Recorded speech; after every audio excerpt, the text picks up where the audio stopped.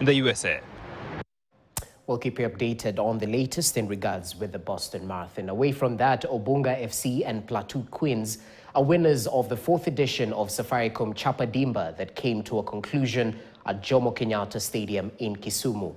Obunga claimed their maiden title in the competition as Plateau Queens bagged their second title. Robinson Okenye reports from Kisumu. It was finally time to crown a new champion as Safaricom Chapa Dimba tournament came to a conclusion at Jomo Kenyatta Stadium in Kisumu County. In the boys' final, Kisumu-based Obunga took on Paskalanga from Rift Valley. Despite settling for one all draw at full-time, Obunga proved clinical on penalties as they won the tie to clinch their first ever title.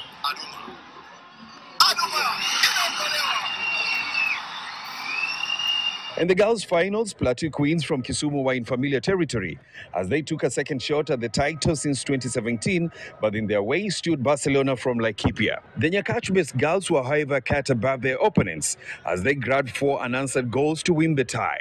Emily Moranga, Moreno Tieno, and Sharon Achieng each netted a piece in the win. Yani tulianza ilikuwa ngumu, haikuwa rahisi.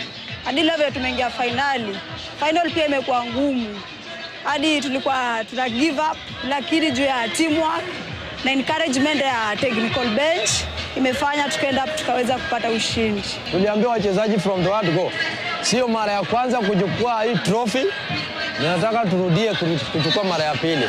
Kwa hivyo wakati walikuwa nacheza kwa akili yao walijua kwamba it is the second time we are going for the trophy and nothing else. The winners pocketed 1 million shillings each. After four days of intense competition here at the Jomo Kenyatta Stadium in Kisumu, finally it was double delight for Plateau Queens as Obunga bagged their first ever title. Now, after everything calms down, all eyes will be out to see which players make it to the All-Star team that will travel to Spain for a two weeks camp. Robinson Okenya, KTN Sports in Kisumu. Moving on, the Eldoret City Marathon